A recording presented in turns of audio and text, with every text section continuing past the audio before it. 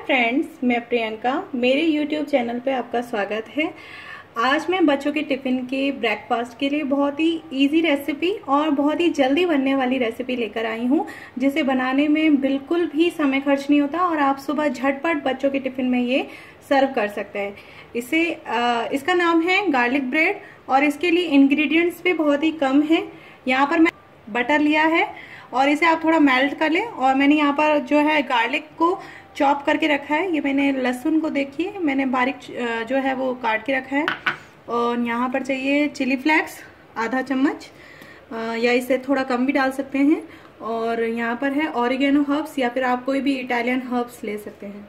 और यहाँ पर मैंने लिए है तीन से चार ब्रेड स्लाइस चलिए अब हम सबसे पहले इस बटर को अच्छे से चम्मच की सहायता से थोड़ा सा मैश कर देते हैं।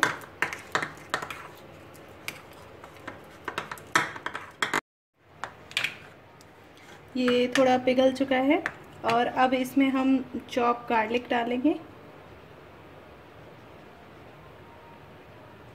मैंने यहाँ पर एक बड़ा चम्मच जो है वो गार्लिक डाली है और यहाँ पर हम, यहाँ पर इटालियन हर्ब्स डालेंगे। ये ऑरिगेनो फ्लैक्स, यहाँ पे मैं ले रही हूँ।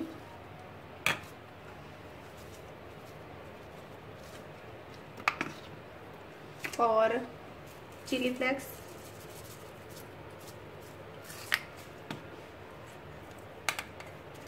बच्चे अगर कम मिर्ची खाते हैं तो आप कम भी डाल सकते हैं और इसे अच्छे से मिक्स कर लेंगे। इसके बाद हम अपना गैस ऑन कर देंगे। गैस जब तक गर्म हो तब तक आप इसे अच्छे से मिक्स कर लें।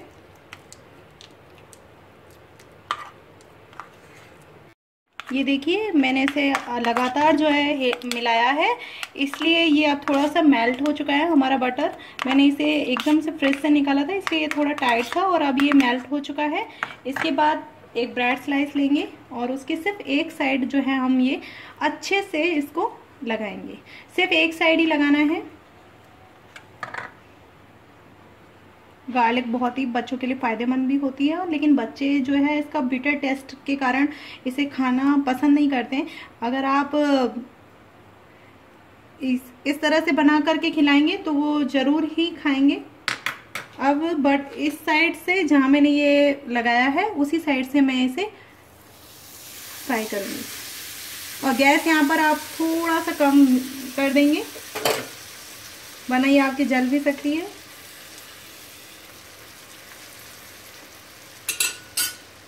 इसी तरह से हम अपनी दूसरी ब्रेड स्लाइस पे भी, जब तक ये बनती है, तब तक हम इस पे भी अपना जो है वो, ये पेस्ट लगा लेते हैं।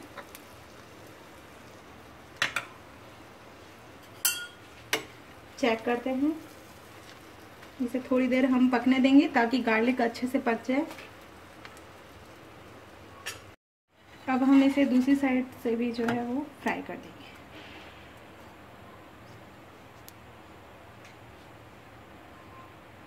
से भी जो है वो थोड़ा सा फ्राई कर रही हूँ। नीचे आप चाहें तो बटर भी लगा सकते हैं।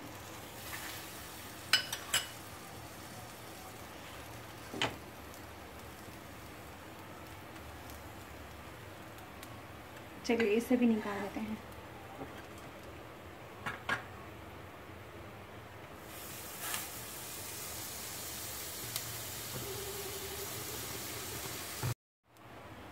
लीजिए ये भी फ्राई हो चुका है, अब हम इसे भी निकाल लेंगे।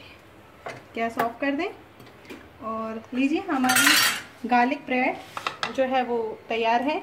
आप इसे बच्चों के टिफ़िन में जो है वो अच्छे से सर्व कर सकते हैं और चाहें तो इसके ऊपर और भी ऑरिगेनो वगैरह छिड़क सकते हैं, लेकिन मैं यहाँ पर नहीं कर रही हूँ, बस ये काफ़ी है।